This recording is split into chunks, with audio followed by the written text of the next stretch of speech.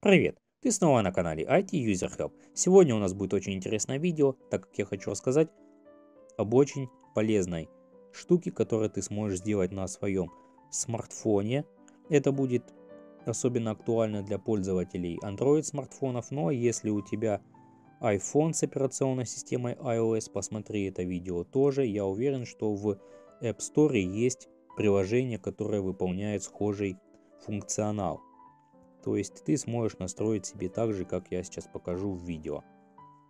А именно я хочу рассказать об регулировке громкости в шторке. Как сделать так, чтобы громкость можно было регулировать в любом месте из любого приложения в шторке.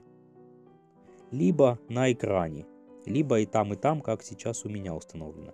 Это полезно, особенно для активных пользователей телефонов, а также будет полезно, если, к примеру, физические кнопки поломались и не работают, которые отвечают за громкость.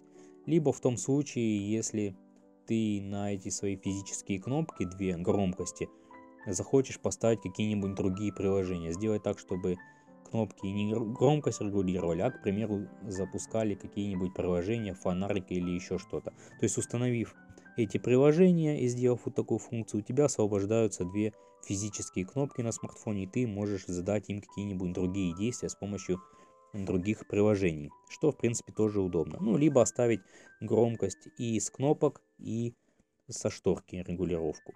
Итак, не теряя времени, давай приступим. Для начала я удалю приложение у себя, чтобы полностью пройти настройку вместе с тобой. Все удалил, далее заходим в Google Play Market и в поиске русскими символами вводим громкость в шторке. Здесь будет большое множество разных приложений. Я расскажу о двух, которые протестировал, которые мне понравились. Ты можешь выбрать и другие какие-нибудь попробовать. И потом оставить себе то приложение, которое наиболее понравится тебе. Я хочу рассказать о двух приложениях. Это регулятор громкости от разработчика Nickstar. Вот так выглядит иконка. И кнопка «Всегда видимая громкость» от разработчика OKSoft. Устанавливаем эти два приложения. Так, первое у нас уже установилось. Давай запустим и произведем небольшую настройку. Запускаем. Далее нажимаем «Старт». Нужно предоставить некоторые разрешения для этого приложения. Нажимаем ОК, выбираем наше приложение. Выбираем разрешить доступ, разрешить, возвращаемся назад, назад. Наше приложение запущено, все, а теперь у нас в шторке есть громкость. Вот так мы увеличиваем громкость, вот так уменьшаем. Здесь мы можем сделать бесшумный режим, то есть в шторке всегда есть регулировка громкости. Это было первое приложение. Теперь у нас второе приложение скачалось и установилось. Открываем его.